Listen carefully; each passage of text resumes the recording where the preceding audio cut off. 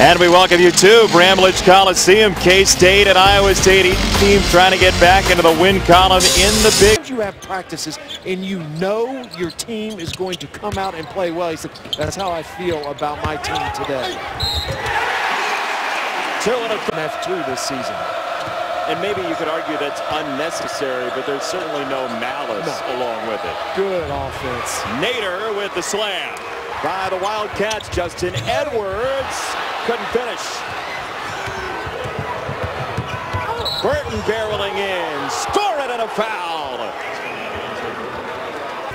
Other than not that. Not that. They, they just need to know, have an idea of where they're attacking, where the holes are, where the gaps are. You know, what are you trying to accomplish against the zone? Oh, Jameel McKay over the top. This of the court, but boy, if you're Bruce Weber, what's really got to frustrate you is what's going down on the other end. Zone again for Iowa State. Good execution. And leads to a slam for side. Ashton the miss. To the wing, open look, and there is the first long distance.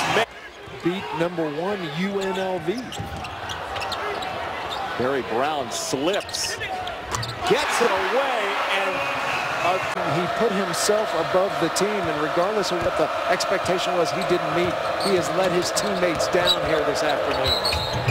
Monte Morris two and a foul for Iowa State. Coaching staff, because they're finding all kinds of holes. Long rebound, Nader, who played only six minutes in that first half to the tune of seven points. And Thomas cans the three.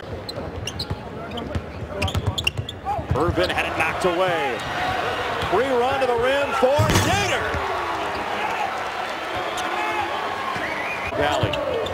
Almost telling us before the game, almost the same kind of situation starting that season. Morris to McKay. Beautiful. Underappreciated is the offensive scoring ability of Monte Morris. His assists and how few turnovers kind of overshadow the fact that he don't get you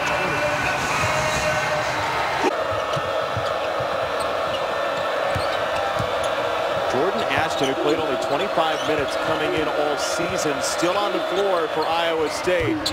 Morris knocks it down.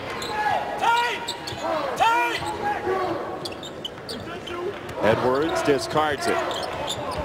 Give that ball to Iwundu. Top of three for Stokes.